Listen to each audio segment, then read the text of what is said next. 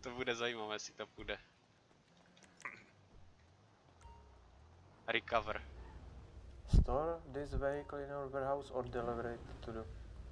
No, by mě zajímalo, kolik za to dostaneš, když to teďka někomu deliverneš. Málo.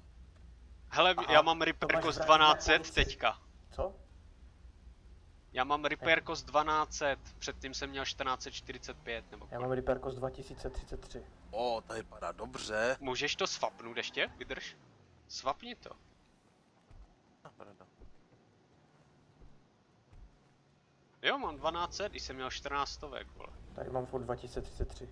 To je, to je mazec, vole. Ty to, ty to vrátíš na policejní stanici, jako, vole. Hej, já to zkusím. Zkus to normálně do hangáru. Uh, jestli ti to uzná. Ej, počkej, Jo, normálně, you stole vehicle cargo from parts in a vole, a mám ho normálně ve warehouse.